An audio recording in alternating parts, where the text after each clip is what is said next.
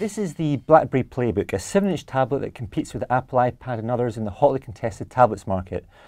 The lab have just sent it back to us after their full and comprehensive testing and we've got results of it and a full review on our website. But now we're going to talk about a few of the highlights. In the hands it feels very very nice indeed.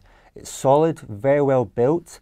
On the back we've got this rubberized uh, surface which not only feels nice but actually gives you a good grip as well when you're holding the tablet.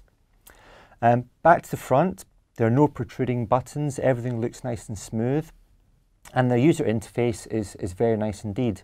Um, flicking between windows is slick, quick, the touchscreen feels responsive, uh, everything feels quite easy to find. It's a very nice user interface, and it's quite similar to the HP touchpad. Now, screen quality is something that our lab really goes to town with. They examine the angle of view, horizontal and vertical, and they also look at colour fidelity and the level of detail that exists in each screen.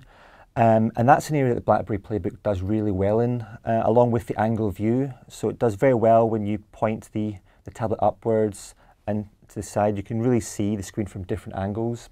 So overall, it's a very nice screen indeed.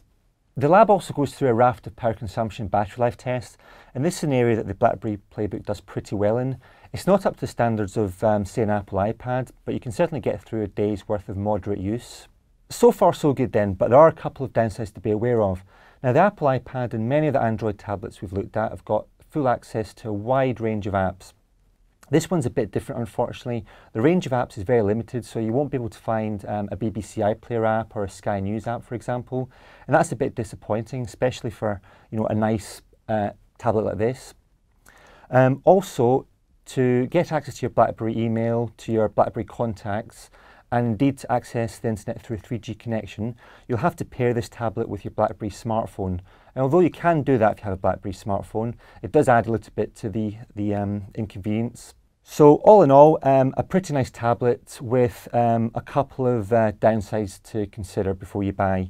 So to see the complete results for this tablet and full test results of the most popular tablets in the market, have a look at which.co.uk forward slash tablets.